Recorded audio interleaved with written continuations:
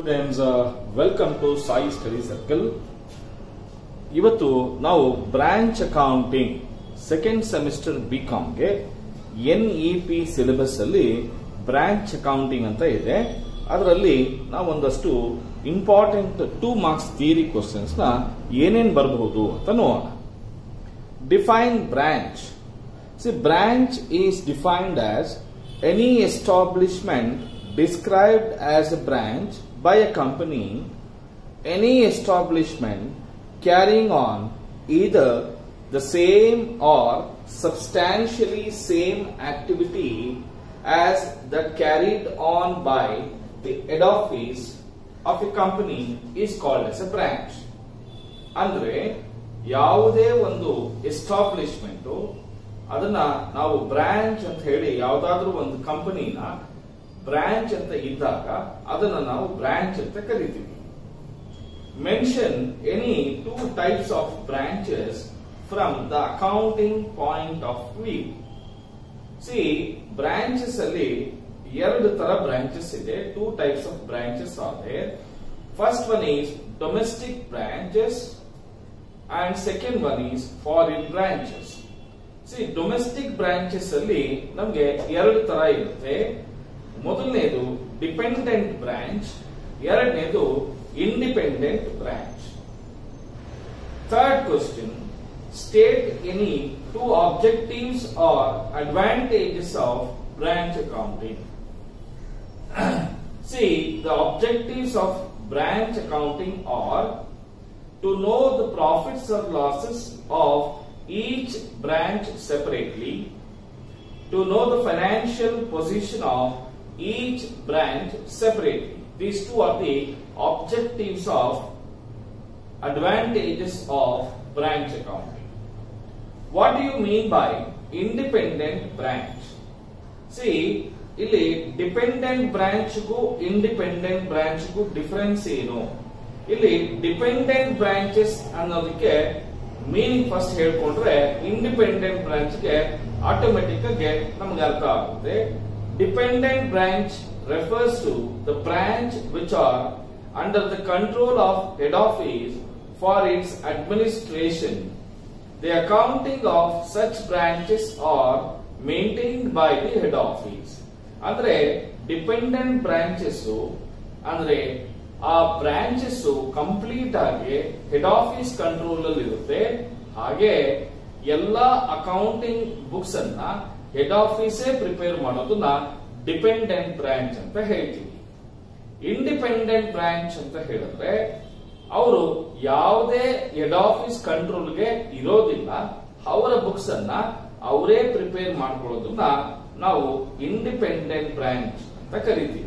So ಇದು dependent ಬ್ರಾಂಚ್ಗೂ ಹಾಗೂ independent ಬ್ರಾಂಚ್ಗೂ ಇರ್ತಕ್ಕಂಥ ವ್ಯತ್ಯಾಸ difference next what are goods in transit give an example goods in transit refers to goods sent by head office or branch closing the books but not yet reach the destination before the closing books ಅಂದ್ರೆ ನಾವು accounting books ಅನ್ನ close ಮಾಡೋದಕ್ಕೆ close ಮಾಡದ ಮೇಲೆ ಬರ್ತಕ್ಕಂತ ಎಲ್ಲಾ goods ಅನ್ನು ಕೂಡ ನಾವು ಗೂಡ್ಸ್ ಇನ್ ಟ್ರಾನ್ಸಿಟ್ ಅಂತ ಹೇಳ್ತೀವಿ.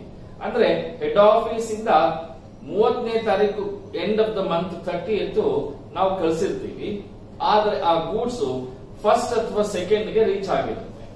ನಾವು ಅಂತ ಗೂಡ್ಸ್ ಅನ್ನ ನಾವು ಇನ್ಕ್ಲೂಡ್ ಮಾಡಿದ್ರೆ ಏನಾದ್ರು ಪರ್ಚೇಸಸ್ ಅಲ್ಲಿ ಇನ್ಕ್ಲೂಡ್ ಮಾಡಿದ್ರೆ, ಅಥವಾ ಗೂಡ್ಸ್ ಸೆಂಟ್ ಬೈ ಗೂಡ್ ಎಂಟು ಬ್ರಾಂಚ್ ಅಂತ ಏನಾದ್ರು ಇನ್ಕ್ಲೂಡ್ ಮಾಡಿದ್ರೆ ಅದನ್ನ ನಾವು ಮೈನಸ್ ಮಾಡಬೇಕಾಗುತ್ತೆ.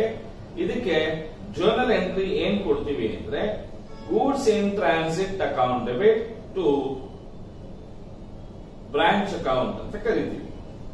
Mention any two inter branch transaction ಅಂದ್ರೆ ಎರಡು ಬ್ರಾಂಚ್ಗಳ ನಡುವೆ ಏನು ಟ್ರಾನ್ಸಾಕ್ಷನ್ಸ್ ನಡೆಯುತ್ತೆ? Goods transferred by one branch to another branch cash transferred by one branch to another branch ಇವೆರಡು ಕೂಡ ಇಂಟರ್ ಬ್ರಾಂಚ್ ಟ್ರಾನ್ಸಾಕ್ಷನ್ಸ್ ಆಗಿರುತ್ತೆ. Next very important what is stock reserve or what is loaded price see loaded price ಅಂದ್ರೂ ಒಂದೇ stock reserve ಅಂದ್ರೂ ಒಂದೇ.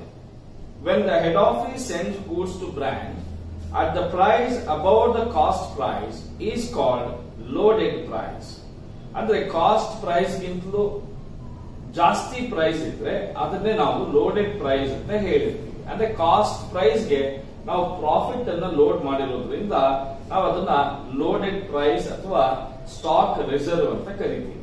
So cost plus profit is called loaded price the difference of invoice price and cost price of the goods sent branch by head office is transferred to an account called as a stock reserve account.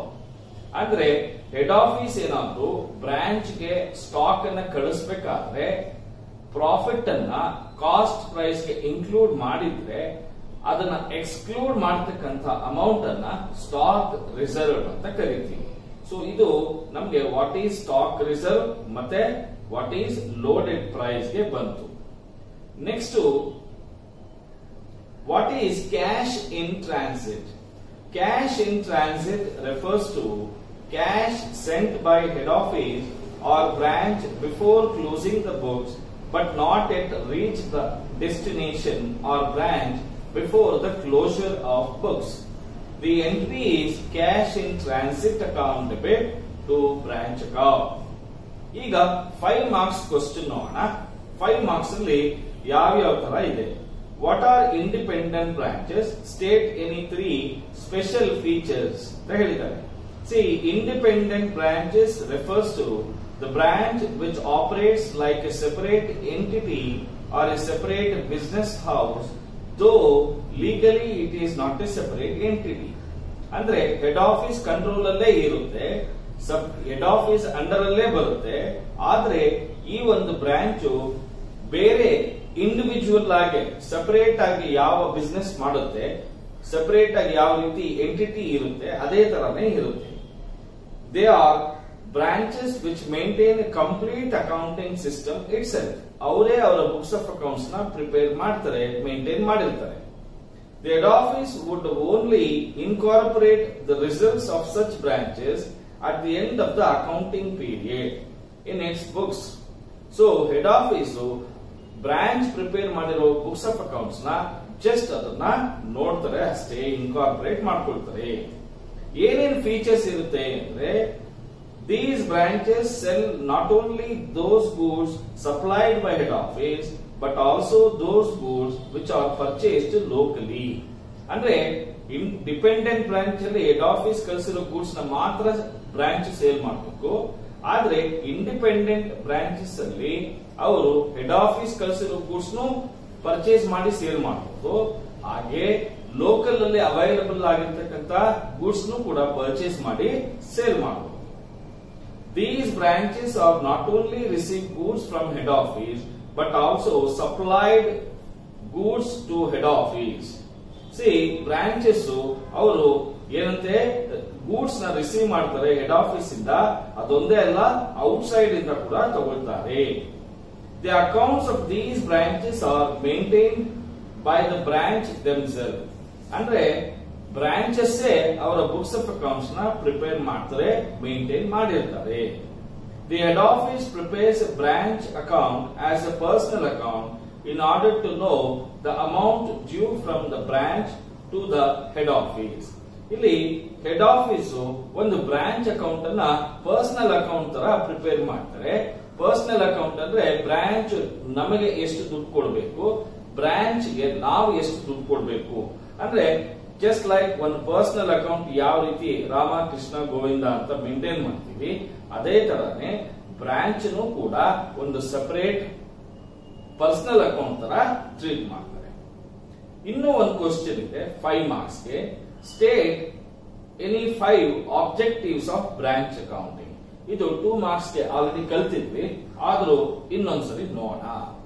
The to know the profits and losses of each branch separately to know the financial position of each branch separately, to know the exact goods requirement of various branch ಯಾವ್ಯಾವ ಬ್ರಾಂಚ್ಗೆ ಎಷ್ಟೆಷ್ಟು goods ಬೇಕಾಗುತ್ತೆ ಅಂತ ಕಂಡುಹಿಡಿಬಹುದು to evaluate the progress and performance of each branch to calculate the commission payable to the manager if it is based on profit, to make necessary suggestions for improvement of any branch, to exercise proper control over each branch.